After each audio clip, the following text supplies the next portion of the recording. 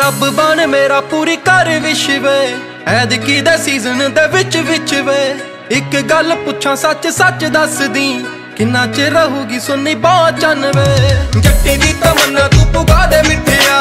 ਛੁੜੇ ਤੇ ਲਖਾਉਣਾ ਤੇਰਾ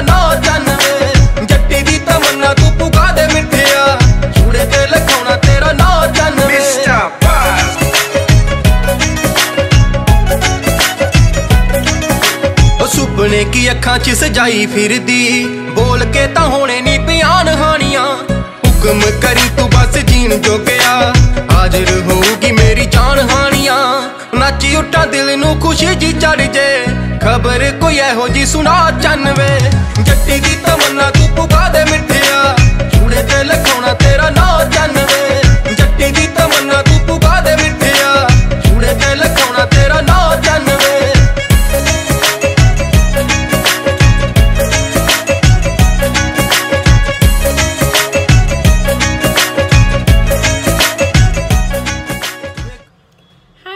everyone this is Sanchi again और आज एक अमेजिंग गुड न्यूज़ है।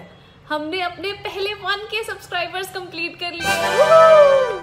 इतने कम समय में हमें इतना सारा प्यार देने के लिए थैंक यू वेरी मच बस आप लोग हमें इसी तरीके से प्यार देते रहिए। हम लोग भी अच्छी से अच्छी वीडियोस लाने की कोशिश करेंगे और आप लोगों को इसी तरह एंटरटेन करते रहिए। इस वीडियो को भी ज़्यादा से ज़्यादा लाइक्स और शेयर्स दें और अगर आपने अभी तक हमारा चैनल सब्सक्राइब नहीं किया है तो अभी के अभी सब्सक्राइब करें और बेलाइकन ज़रूर प्रेस करें ताकि आपको नोटिफिकेशन मिलती रहे। Thank you